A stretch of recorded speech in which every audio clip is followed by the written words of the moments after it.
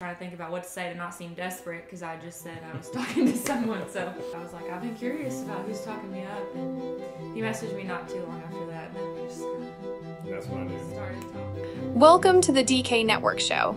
Thanks for tuning in with us. Let's cover a few things before we get this show on the road. First, make sure you give this video a like. Second, subscribe if you haven't already.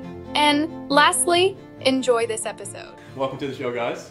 Thank you for having us. Let's go right into it. So, Neil, how did you and Alexi meet? Um, that's kind of a long story.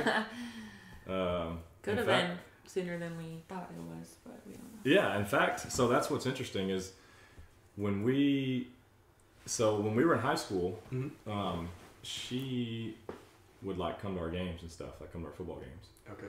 and I had no idea about that until she told me. But we could have very easily crossed paths in high At school and never known it, like at the gym or whatever. Like she would come and play basketball and stuff. Yeah. Because she's a year she's a year older. She's she's a year older. Now, I remember seeing Alexi. Like, Yeah, I, I knew- remember I meeting you. you. so I knew who you were. So you, you you'd have And to I think knew- if she met you at some point, then Well, I, I remember hearing his name Mm-hmm. like several times, but I don't remember. Like I don't ever. We never just were like, hey. I don't remember um, that. Yeah. So I would have remembered. I don't know, maybe. but no, I don't think there was actual time. I don't think so, It was just So officially, maybe in the same room. yeah, potentially.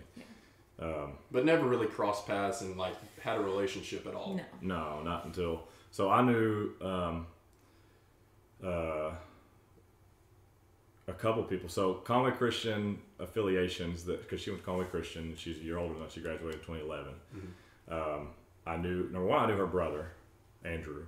So Andrew and I um, kind of knew of each other through playing basketball together. When we would come back and play at Conway Christian, we played at Conway a couple times, and um, so knew of him and um, through Garrett Standridge, who you know, uh, and kind of formed a relationship with him.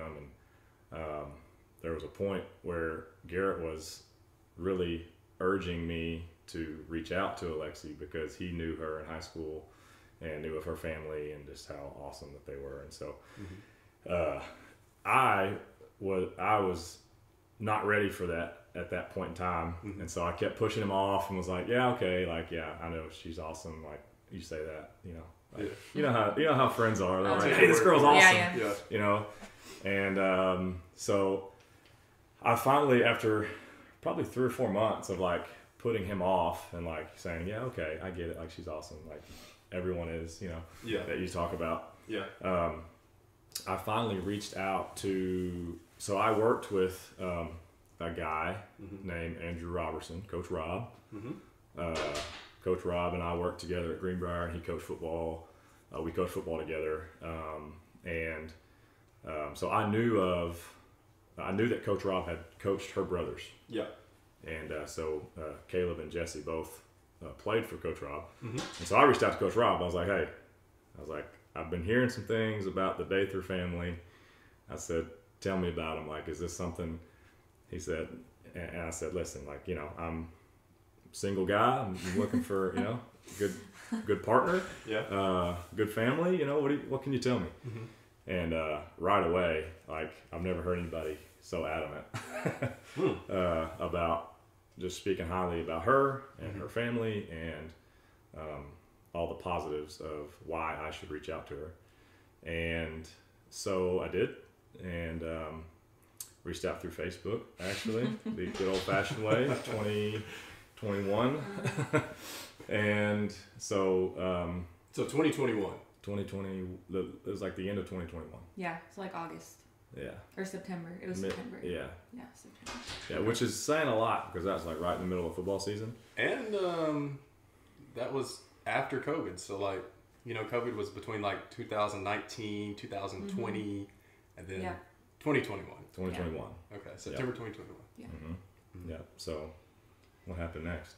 Well, um, I was like, you know, you seem cool, but I'm talking to someone, so because I, you know, I knew why he was Oh, wow. reaching out. So Okay. I was like, let's just, you know, let's just let's just take care of this before. um, You actually were talking to someone. I actually was talking to someone, and but the funny thing is, after I said that, like I remember hearing about him. So we had mutual mutual friends, and I was like, one side of me was like, oh, he's probably like just this, you know, football guy coming back home lonely, you know. Yeah. And but then the other side of me was like, well, dang, false. it could be. I could have just missed, you know, an opportunity. Like, what if he really is a genuine? And I knew that what I was doing, who I was talking to at the time, wasn't a good situation. Okay. So then I was like, wow, I could just be messing this up. But then I just kind of like, you know, blew it off. But then um, Yeah. that ended up not working out. hmm Um, and then I was just like, couldn't get out of my mind for some reason. And I told my brother about it eventually. I was like, hey, have you have you heard of Neil Burcham? And he was like, what? Why? And I did. I wasn't gonna tell him that he messaged me, but he was like, Lexi, why? And I was like, well, he sent me a message on Facebook, and he was like, what? What? And I was like, what are you like? Oh, what are you talking about? And he was like, Neil Burcham. And so he was like, he got a message in back, and I was like, okay, why? And he was like, Lexi, he's a great guy. He was like, and I don't say that about people, and he really doesn't. I mean, he doesn't like he doesn't Appreciate really talk up talk other guys up really, especially to a mm-hmm. sister who you know Yeah. who they're pretty protective of. But anyway, yeah. so Yeah, that makes sense. then I was like, okay, oh my gosh. And so then for like three days, I was trying to think about what to say to not seem desperate because I just said I was talking to someone. So, Yeah. so yeah, I So ended up, she she played it off perfectly. yeah, I ended up messaging him back. And so I was like, so who are these people talking me up or what? Because I was like, I've been curious about who's talking me up. And he messaged me not too long after that. And then we just kind And that's what I knew. of started talking That's from when you did. there. That's and, what I knew. Um, It was a wrap at that yeah. point. Okay.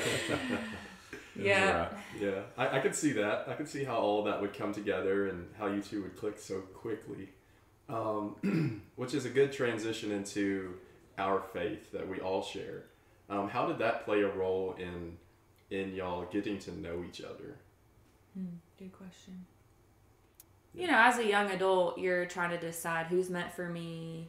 Is this who God wants? And then what's what should be things that you think are like tight and loose. You know, as far as Your standards. values and standards. Yeah. So I'd con like I was real strict, you know, on those, and then uh, like early twenties, I was like maybe I shouldn't, you know, because things haven't worked out with people. So maybe I need to be a little bit more reevaluate what. yeah those are. reevaluate what those are but um then when we started talking it just it seemed like what i had thought i would never find like we agreed on the same things Wow. and there wasn't any um you know things i was anxious before about saying should i uh, let this go because of these certain things that he thinks aren't okay or are okay. Um so that's kind of when I just knew because there was no, I mean, there was no anxiousness about that or question about things that in the past Yeah, I had thought,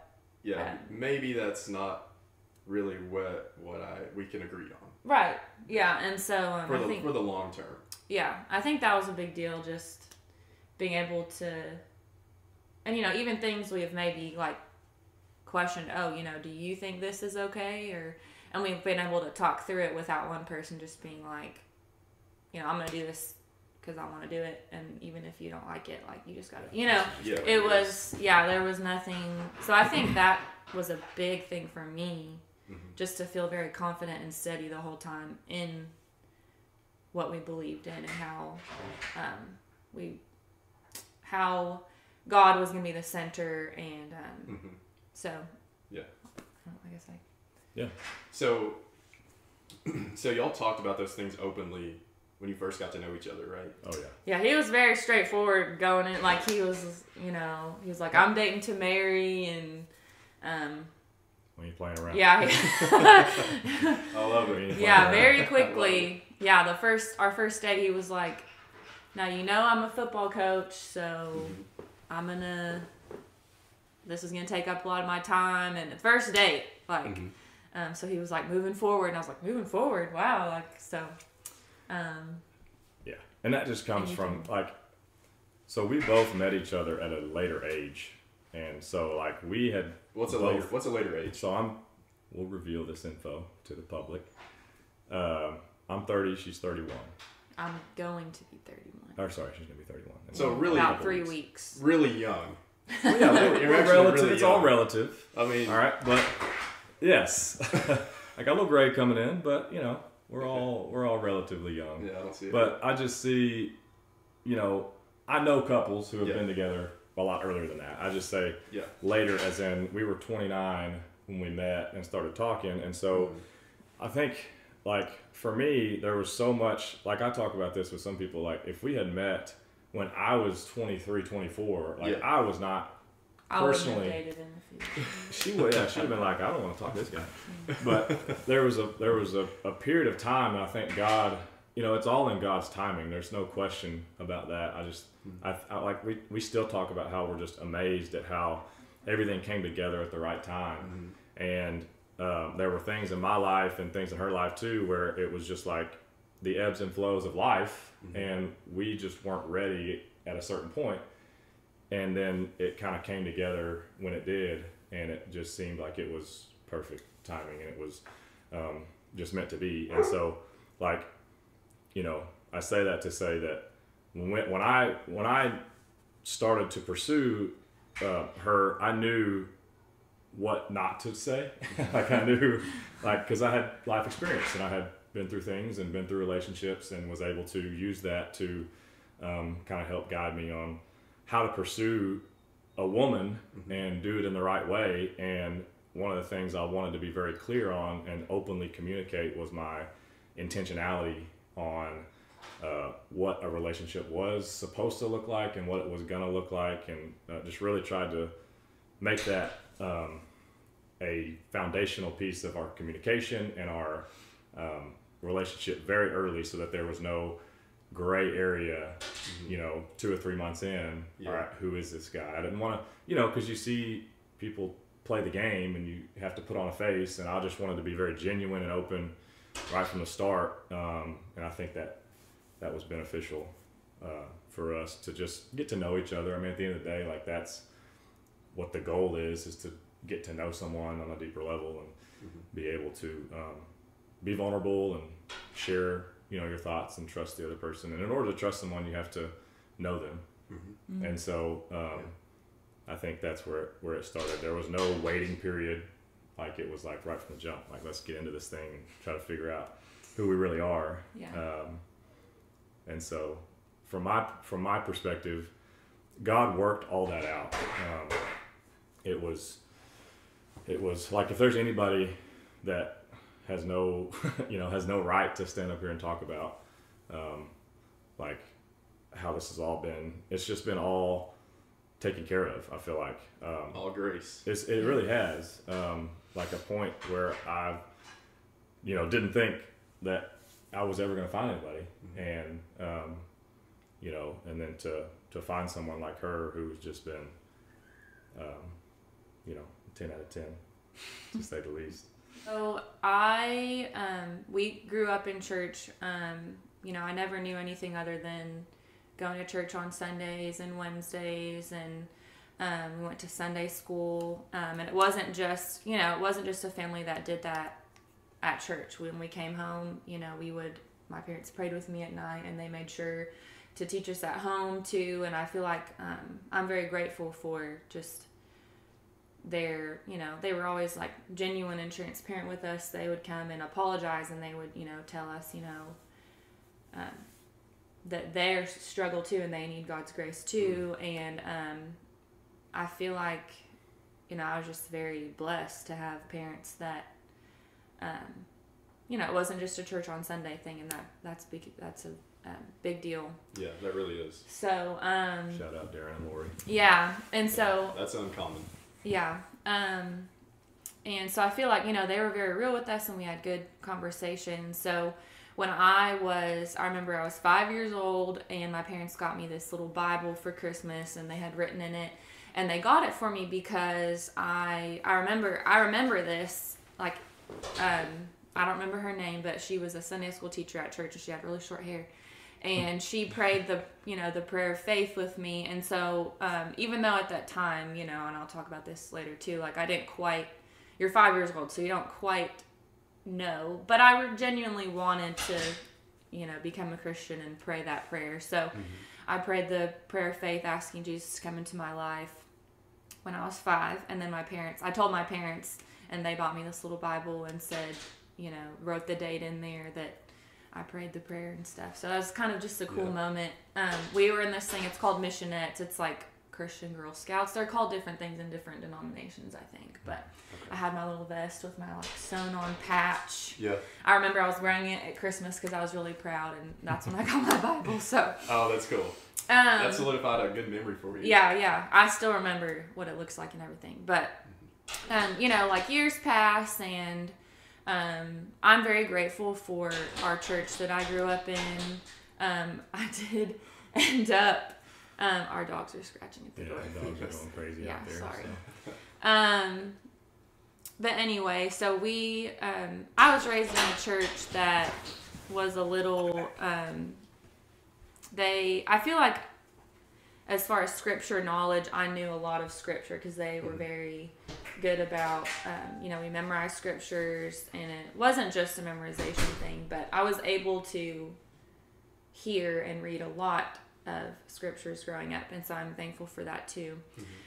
Um, and so when I was 11, I remember um, kind of going through this weird phase of, um, I don't know if you call it depression or, you know, like as a kid, you have these weird fears. And, Yeah. um, you know, it's the kind of, it was the kind of preacher that is like hellfire and brimstone. And, you know, you're like this 10, 11 year old, you know, sitting there listening to like the tribulation and all this stuff. And so, yeah. Not the gospel. You're hearing like these Right. revelations of the end times. Yes, yes. And so I remember as a kid just thinking, um, like being terrified and thinking I needed to just pray and repent every night, you know, and be ready and Yeah. Um, they were trying to scare you into heaven. right.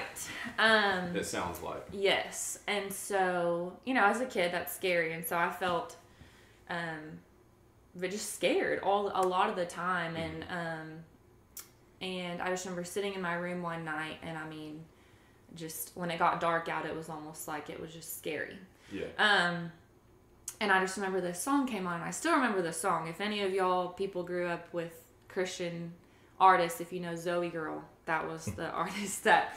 Um, and it was a song called Suddenly, and it's just talking about suddenly you're here with me. Um, I know you'll be here till the end of time. And um, like it gets me real emotional, like thinking about it, because I still like remember that moment and that was the first time I had felt God. You know, like you know who God is, but you remember the first time you really felt I don't even know a word for it, just like warmth, I guess, and you just felt um, safe. And so, Like you, you actually received the love of God. yes. Like in your heart. Yes. Um, and I was like, wow, you know, that's um, that's just one of those moments in your life that you'll always remember. Um, and so I kind of prayed again, you know, asking God, you know, to make sure I was a Christian. Because the denomination we went to, it was, um, it was not the once saved, always saved, you know, that you hear. Um, and so What denomination was it? it was Assembly of God, and Assembly of so they do believe that like you could lose your salvation. And so in my head, you know, as a kid, I'm always trying to repent at night, and I didn't Oh, quite yeah. fully under grasp. It's can it can be confusing when Right. especially if if you if if the Lord has you in His hand, which I don't, I can't quote the scripture verbatim, but Mm-hmm. Yeah. basically the Lord doesn't.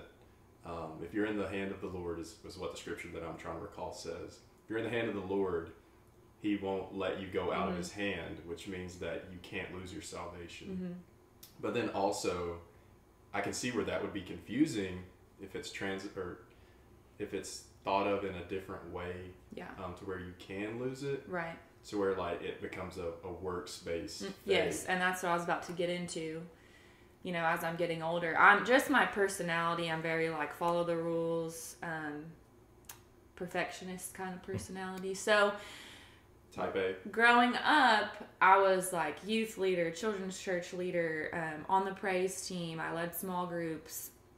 And so looking back, I did want to please God for sure. But I think, and I think being in leadership is a good way of accountability for yourself. Absolutely. So I do, I'm thankful for that. But I think for me, it just became a lot of, and I'm, I'm the oldest sibling of seven. I'm the first out of seven. So that for me too was a lot of like, I gotta be perfect. I gotta do all this stuff, Set the example. set the example. Um, when really I don't quite know if that was all for God, like all the choices that I made. It was a lot of it was just because I knew the position that I was in and who all I would disappoint Yeah. if I decided to go to this party or go try a drink or listen to certain kinds of music. You know, it was a lot of things that I always felt very convicted about and very like sensitive about just because of who I was around and who was looking to me to be this person who's on stage singing every Sunday, you know. Um You actually sang on stage? yeah. Oh, wow. Yeah, since I was like 14. The first time She'd sing. it's funny actually. You sang I, at your wedding. I did sing at Oh, my that's right. wedding, yeah. Yes, you did. Yeah, the first time I sang on stage, I was like probably five in a Christmas.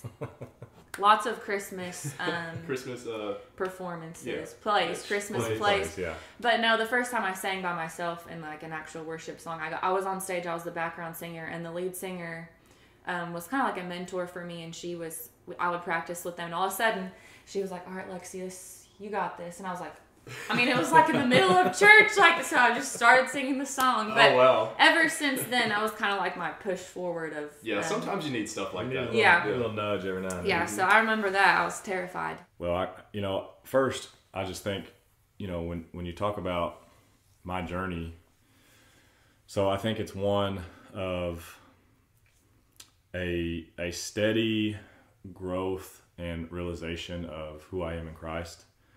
Um, I think it's been, it, it, really has been a, you know, when Alexi talks about first kind of receiving a knowledge of who God is at five years old, it was very similar for me because, um, like like her and like and like a lot of people, I grew up in church and we went every Sunday. We went every Sunday night and we went every Wednesday, from when I can remember until about my junior year of high school.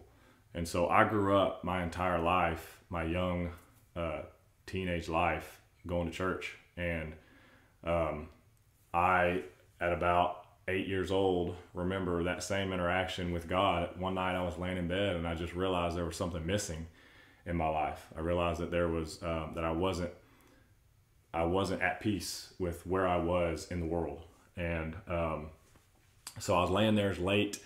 I thought it was late. It's probably like nine thirty, but I've been put to bed. Uh, lived upstairs in Greenbrier um, in a in a bunk bed. I remember being on top bunk, and I was in third grade, and um, there was just it was just this uneasy feeling of like I'm not where I need to be. Like something's missing. I don't know what it is, but there's this gap. There's this hole. There's this missing piece in my life that um, that I know that I need. I just don't really fully know what it is. And I, I had the inclination that it was God, that it was something God related, um, but I didn't quite know what that was. And so I remember going downstairs and um, my mom and dad were sitting on the couch, and I said, "Mom, come upstairs." so she follows me back upstairs, and I get in bed, and I just lay there for a little bit, and she's like, "What's going on?" And I, I you know, I was I was nervous, like I didn't really know how to verbalize what I was feeling, and I said, "I want to be saved," and you know, because we had grown up in Baptist church, and so it was it was similar. Like we had a we had a, a process to becoming saved, um, and um, I remember being in Sunday school real early in life, probably five, six, seven years old, and it was it was. I remember learning about the ABCs. You accept Jesus for who He is. Um, you believe that He died on the cross, and then you confess your sins, and then you repent. So ABCR, and that's what I remember being a. Uh, there's an R in there. uh, but I remember being five or six years old in Sunday school, learning about the pro- that's the process to becoming a Christian accept, believe, confess, and then repent. Um, and I still believe that, um, but I didn't quite understand that. Um, and and it was it wasn't until probably my twenties that there was true, I would say, true belief. I think there's a lot of people that claim to believe, and I think there's a lot of people that um, want to believe, but it's very personal when you have that heart change of true personal um, belief in the in, in who God is and what God has done and, and, and who Jesus is. Um, I think there's a there's a clear distinction um, when that happens. That is that is a heart change. It changes your life. It changes your worldview. It changes your perspective on everything. Um, and so, I had that moment with God at nine years old, um, in my bed late at night. That um, that I prayed the prayer. We went downstairs and we prayed the prayer. God, I accept you into my heart as my Savior, and I want you to be my Lord and Savior. And I, I confess that I've sinned and that I'm, um, you know, but it, but it was just a prayer. Like I checked the box. Like of, I prayed the prayer and I, oh, now I'm saved. Um, but again, that like I'm nine. I, not that I don't think you can be saved at nine, um, but I still had a lot of questions. I didn't fully understand kind of what that meant. Um, You said you do believe you can be saved at nine, or don't? yeah, I think you can. Okay. Yeah, I think you can. Um, I, I, you know, but I don't think I was at a place personally where I. There was still there was still doubt. Yeah. There was still Yeah. doubt. There was Yeah. still a lot of doubt. Um, Which which is normal. It It's some- is. It's something new you don't know fully about. yeah, Have lots of questions. Yeah, and so I would say that I was I, I accepted God for who He is at nine years old. I accepted God. I, I believed that God was real, and that Jesus was real. Like I believed that at nine, um, and then you know, fast forward to high school, I was um, you know continuing to go to church, um, and then there was a point in college and through my early twenties that was the dark ages. It was a period of time where I drifted away from what I knew was truth that I had learned from nine years old. Um, I just became, um, I don't know, I don't know the the word for it, but complacent maybe. Um, just, um, just drifted away. You know, I think, which is so easy to do. I wasn't around a a group of people, a community. I wasn't involved in church. Um, my family stopped going to church at, at the end of high school.